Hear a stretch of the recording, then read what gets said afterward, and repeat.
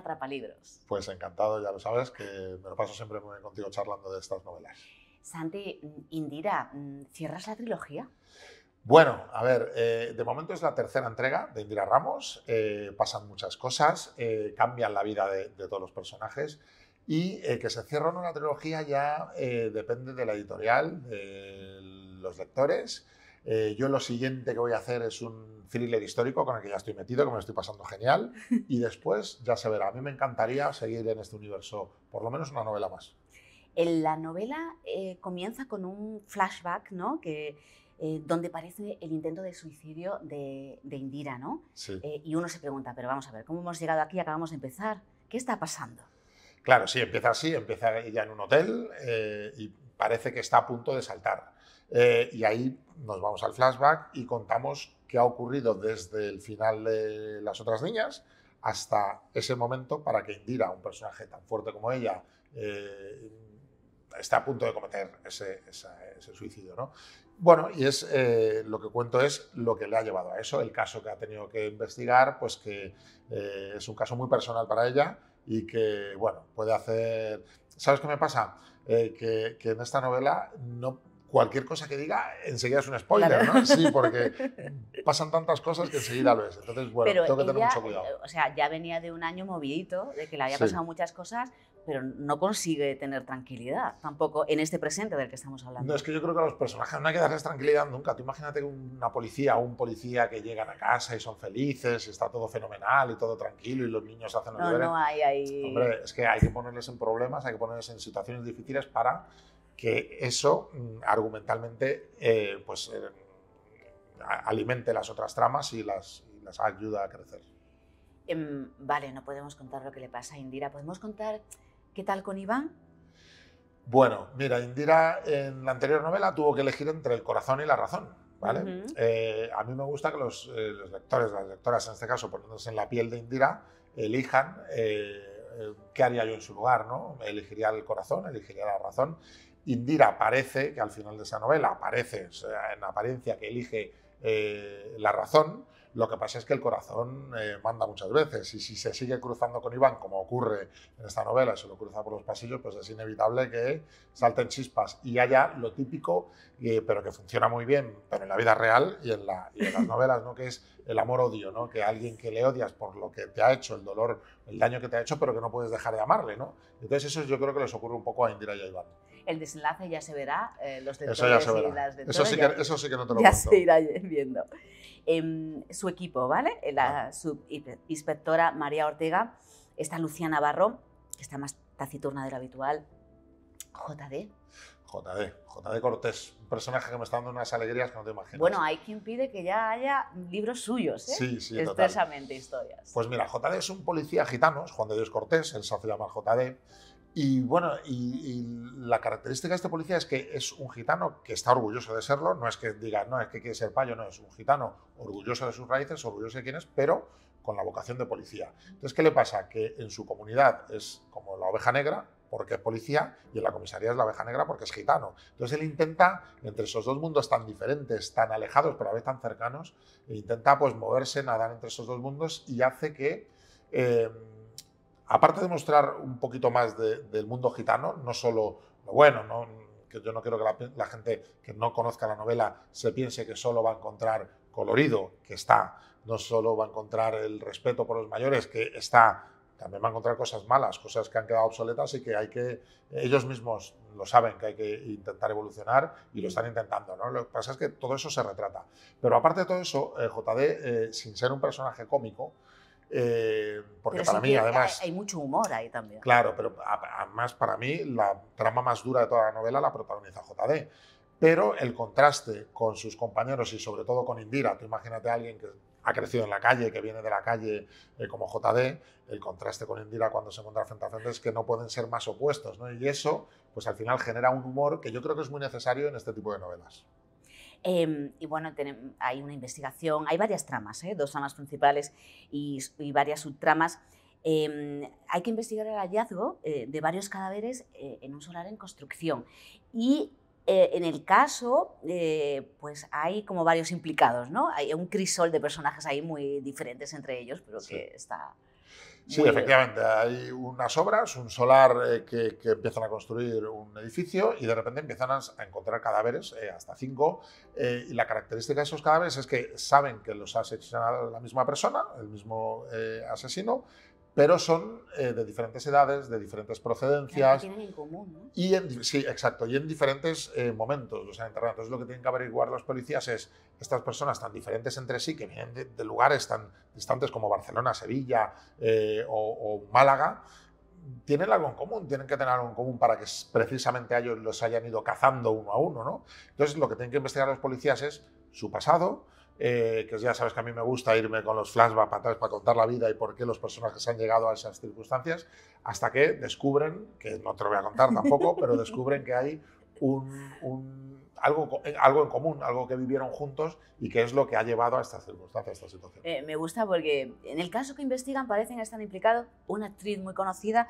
un político aspirante a presidente, dos hermanas multimillonarias, una aspirante diseñadora y, su pareja y el ex de una mujer que se quitó la vida hace años. O sea, que ya te digo que, hay donde escoger. Ahí, claro. Mira, la novela, este tipo de novelas a mí me encanta por muchas cosas, ¿no? El tipo de novela negra, o, este, pero hay una cosa que es, me gusta especialmente, es que te puedes asomar y puedes ver en primera fila la vida de mucha gente diferente, ¿no? Y no solo lo que vemos de un aspirante a presidente, que es lo que vemos delante de los focos. No, lo que hay detrás, que para mí es lo interesante, lo que hay en su vida privada, lo que hay con su familia.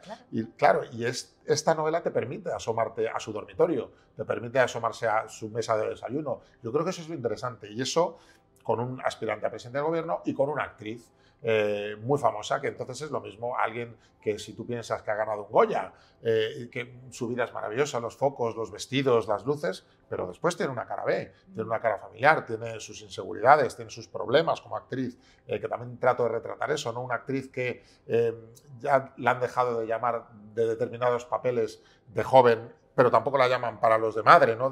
ni hija ni madre. Entonces se encuentran en ese limbo que ocurre muy a menudo, que, dicen, ostras, es que es mi mejor momento profesional porque tengo más experiencia que nunca, tengo más eh, carreras, sé cómo hacer las cosas, pero no me llaman. ¿no? Entonces se encuentran en ese momento que ocurre muy... Con los hombres ocurre un poco menos, pero con las actrices más. Y entonces me, apetecía retratar no solo lo bonito de, de las luces y de que me pidan autógrafos por la calle, actriz, sino sus inseguridades y su vida privada.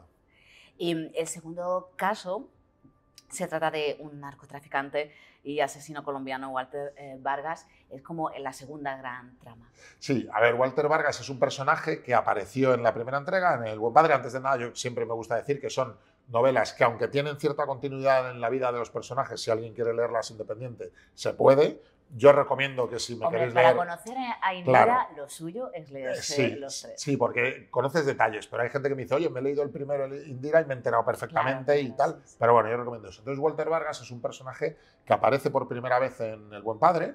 Es un personaje que detienen Indira a Iván y eh, cuando está a punto de matar a, Iván, Indira le dispara y le, arranca la mano ¿no? y le, le deja manco.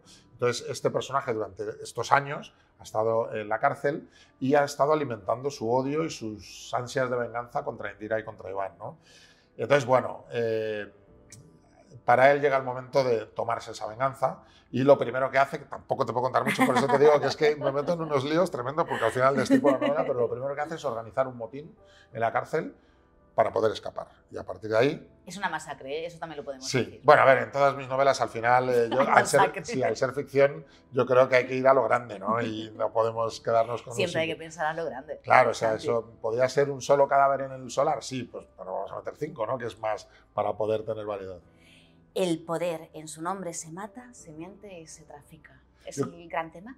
yo creo que más que el poder eh, es el dinero. Lo que pasa es que para alcanzar el dinero muchas veces hay que pasar por el poder, ¿no?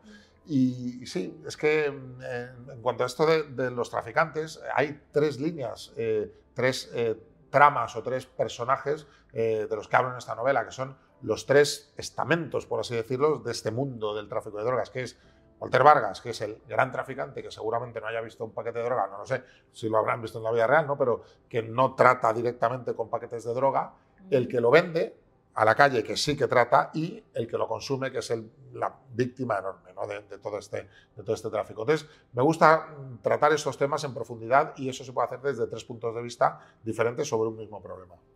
Y hay violencia de género, también tratas el tema. Hay violencia de género, eh, sí, en el mundo eh, gitano, no tampoco quiero, eh, pero sí, efectivamente, eso, es una de las cosas de las que hablábamos antes, ¿no? de cosas que tienen que cambiar en el mundo en general, en todos los mundos, pero en ese mundo también, o sea que hay que retratar porque ocurre, ¿no? Y bueno, y sí que trato ese tema y, y, que afecta personalmente a JD y traslado otra vez la pregunta como todas, ¿no? Si tú fueses JD en esa circunstancia, en esa situación, ¿qué harías, no? Claro, es que pones muchas circunstancias de momentos de, donde la ética te, tiene que entrar y por, por dónde nos inclinaríamos uno u otro, ¿no? Es que a mí me gusta que no solo te leas la novela y me digas esto que me encanta, ¿eh? lo, de, lo de me la he leído en 48 horas, que me, me encanta que me lo digáis. Yo pienso, jolín, con lo que me ha costado a mí escribirla, que te la ventiles en, en 48 horas, pero me encanta, ¿no? Eh, pero me gusta que no solo eso, sino que cuando dejes la novela, eh, quede un pozo, quede algo. Y eso yo trato de conseguirlo interpelando directamente a los lectores, o sea, preguntándoles directamente, ¿qué harías tú en esta situación de estos personajes, en las circunstancias eh, que yo te expongo? Si soy capaz de hacer que te pongas en la piel de esos personajes, quizá es cuando tengas ese problema moral, porque si yo de primeras te pregunto, ¿tú serías capaz de matar a alguien a sangre fría? Tu respuesta es no. Pero si yo te pongo unas circunstancias muy especiales que tú eh, las, las, asumes como tuyas, sientes empatía por ese personaje, van a hacer daño a alguien, eh, lo que más quieres en tu vida, quizá. Eh, Pero ahí simpatizas tú, al final. ¿no? Claro, y, y, además a lo mejor tu respuesta sigue siendo no, a, a, sangre fría no, lo dejaría en manos de la justicia, pero tu respuesta no es tan directa como hace un minuto que te he hecho la otra pregunta, que dices, no, no soy capaz de matar a sangre fría. Aquí es, yo creo que no, pero esos tres segundos son los que te meten la duda moral de decir, ostras, por tres segundos he pensado que sí sería capaz. Y eso es lo que me gusta a mí, que haya eh, esa, no sé, conexión entre el, entre el autor y los lectores, que a mí me encanta que me pase con libros que leo. Vamos a, a, ir terminando, Santi, pero has dicho, con lo que me cuesta escribirla, bueno, es que la trilogía me parece, no sé si ha sido libro por año.